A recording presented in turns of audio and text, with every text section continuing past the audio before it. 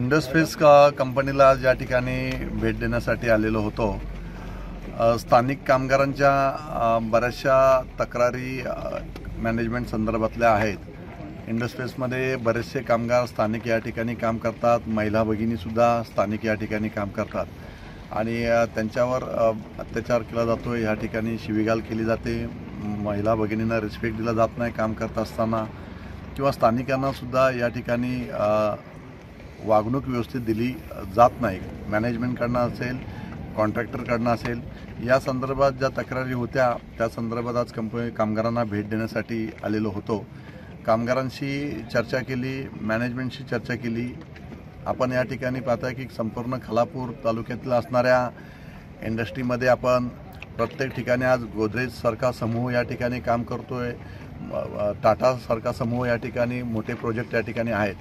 परंतु या प्रोजेक्टच्या माध्यमातून या ठिकाणी स्थानिकांना आपण पाहताय की स्किल डेव्हलपमेंट आपण या ठिकाणी डेमो घ्यायला सांगितलेत किंवा जे स्थानिक कामगार आहेत किंवा स्थानिक युवक आहेत यांना प्राधान्य देत असताना त्या ठिकाणी स्थानिकांना भरती करत असताना या ठिकाणी आपण स्किल डेव्हलपमेंट आपण या ठिकाणी केली पाहिजे.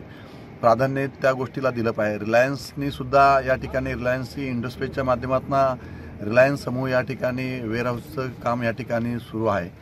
या माध्यमातून सुद्धा स्थानिकांना भरती करत असताना या ठिकाणी स्किल डेव्हलपमेंटला प्राधान्य या ठिकाणी दिलं गेलं पाहिजे बाहेरची भरती या ठिकाणी मोठ्या प्रमाणात केली जाते आणि स्थानिकांना या ठिकाणी कामावर घेतलं जात नाही आणि स्थानिक जे कामगार या ठिकाणी काम करतात त्यांना हेल्पर म्हणून फक्त वापरलं जातं जर यांच्याकडे स्किल असेल तर यांना चांगल्या प्र पगारच्या नोकऱ्या या ठिकाणी मिळतील किंवा चांगला पगार या ठिकाणी मिळेल परंतु मॅनेजमेंट या ठिकाणी दुर्लक्ष करत असते आणि म्हणून मॅनेजमेंटला माझी या ठिकाणी विनंती आहे की आपण स्किल डेव्हलपमेंट या ठिकाणी प्राधान्य देऊन याच असणाऱ्या स्थानिक असणाऱ्या युवकांना या ठिकाणी आपण त्यांना डेमो दिला पाहिजे त्यांना प्रशिक्षण दिलं पाहिजे.